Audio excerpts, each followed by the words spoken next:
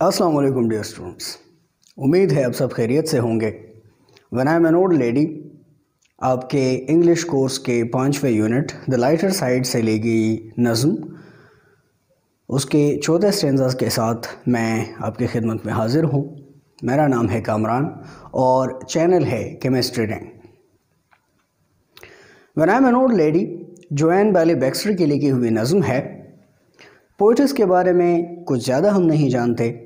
لیکن یہ ایک مزاحیہ نظم ہے اور یہ نظم پوئٹس نے اپنے بچوں کے لیے لکھی تھی۔ ونا منوڈ لیڈی میں پوئٹس یہ بیان کرتی ہیں کہ جب وہ بھوڑی ہو جائیں گی تو تب وہ ان شرارتوں سے، ان کاموں سے کہ جو بچپن میں اس کے بچے کیا کرتے تھے، وہ تمام کام کر کے اپنے بچوں کو محظوظ کیا کریں گے۔ اور جب ان کے بچے پوئٹس کو یہ تمام تر شرارتیں کام کرتے ہوئے دیکھیں گے تو انہیں بہت ہی خوشی اور مسرت حاصل ہوگی۔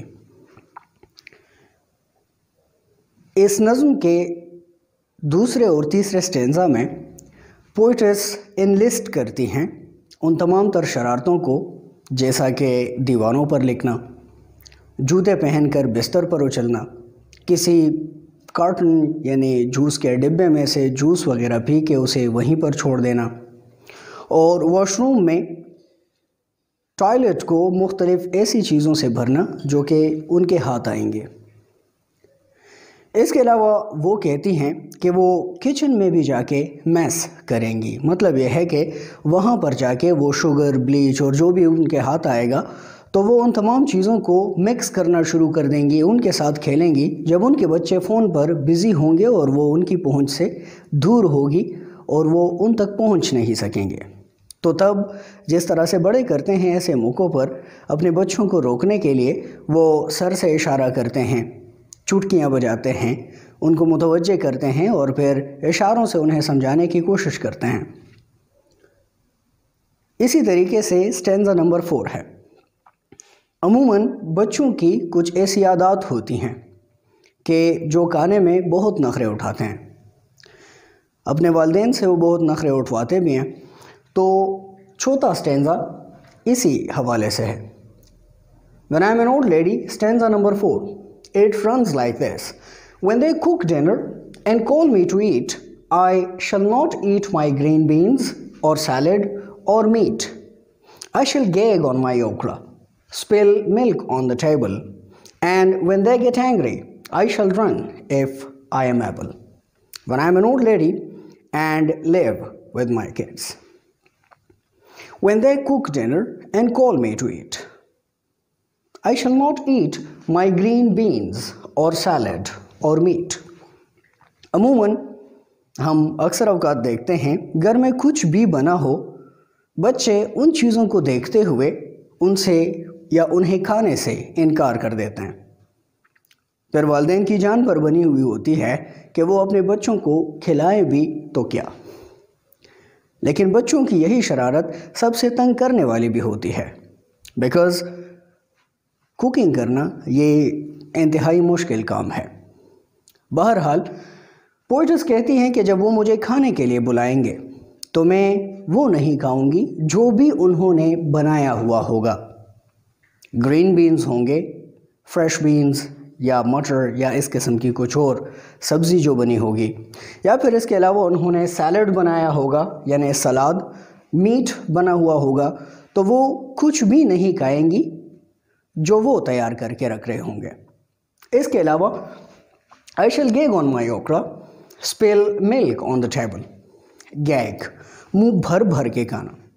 تو کچی سبزیاں جیسے اوکڑا لیڈیز فنگر جسے ہم کہتے ہیں، یہ ایک افریقن ٹرم ہے اور ایٹین سینچری میں یہ منظر عام پہ آتا ہے۔ لیڈیز فنگرز کے لیے یہ استعمال ہوتا ہے بھنڈی، جسے ہم عموماً عام زبان میں کہتے ہیں۔ تو پوئٹس کہتی ہیں کہ وہ کچی سبزیاں میں اٹھا اٹھا کے کھاؤں گی، منہ بھر بھر کے کھاؤں گی، لیکن جو کچھ انہوں نے بنایا ہوگا، میں وہ نہیں کھاؤں گی، میں اسے کھانے سے انکار کر دوں گی۔ Spell Malik on the table اور جب وہ مجھے کھانے کی چیزیں دیکھ کر وہ میں نہیں کہوں گی تو تھنگ آ کر وہ مجھے دودھ پیش کریں گے کہ آپ یہ پی لیں۔ لیکن میں وہ دودھ بھی پی لوں گی۔ ویسے ایک محاورہ ہے it is no use crying اور اسپلٹ ملک ایک دفعہ کوئی کام ہو گیا ہے تو بس ہو گیا ہے۔ اب اس پہ رونا کیا؟ لیکن پوئٹس کہتی ہیں کہ وہ دودھ انڈیل دیں گی ٹیبل پر ہی and when they get angry اور اس عمل پر جب وہ غصہ ہو جائیں گے آئی شل رن ایف آئی ایبل جیسا کہ میں پہلے بیان کر چکا ہوں کہ اس نظم کو پڑھتے ہوئے آپ ایک بوڑھیا کا تصور اپنے ذہن میں جما لیں۔ سو جسٹ تھنک امیجن کوئی ایسی بھڑیا ہو جو کہ مختلف چیزوں کو کھانے سے انکار کر دے۔ اس کی خوشی کے لیے اسے دودھ تک پیش کر دیا جائے اور وہ انڈھیل دے۔ تو لازمی بات ہے، غصہ تو آتا ہے اس بات پر۔ لیکن وہ بوڑھیا وہاں سے دوڑ کر باغ نکل جائیں۔ لیکن ساتھ ہی پوئٹس کہتی ہیں، ایف آئی ایم ایبل، اگر میں دوڑنے کے قابل ہوئی، اگر میں بھاگنے کے قابل ہوئی، تو میں بھاگ کر دکھاؤں گی۔ When I'm an old lady and live with my kids جب میں بوڑھی ہو جاؤں گی اور میں اپنے بچوں کے ساتھ رہوں گی، تو بچوں کی مختلف عادات کا، ان کے شرارتوں کا پوئٹس ایک نہایت ہی خوبصورت انداز میں تجزیہ کرتی ہوئی نظر آتی ہیں۔ وہ بیان کرتی ہیں ان تمام شرارتوں کو، ان تمام کارناموں کو جو کہ بچے کر کے اور پھر بھاگ نکلتے ہیں، یا پھر اس کے علاوہ وہ بڑوں کو تنگ کرتے ہیں ان کاموں سے۔ تو پوئٹس اپنے بچوں کو ان باتوں کا احساس دلانے کے لیے کہ چائلڈ ریزنگ بچوں کی پرورش کرنا یہ کتنا مشکل کام ہے۔ اگرچہ یہ ایک مزاحیہ نظم ہے، اس موضوع پر اگر دیکھا جائے تو ہمیں یہ نظم پڑھ کے بہت خوشی بھی ملتی ہے۔ لیکن ساتھ ساتھ اگر ہم دیکھیں تو پوئٹس کو ایک گلا سا نظر آتا ہے۔ ہڈن ورڈز میں۔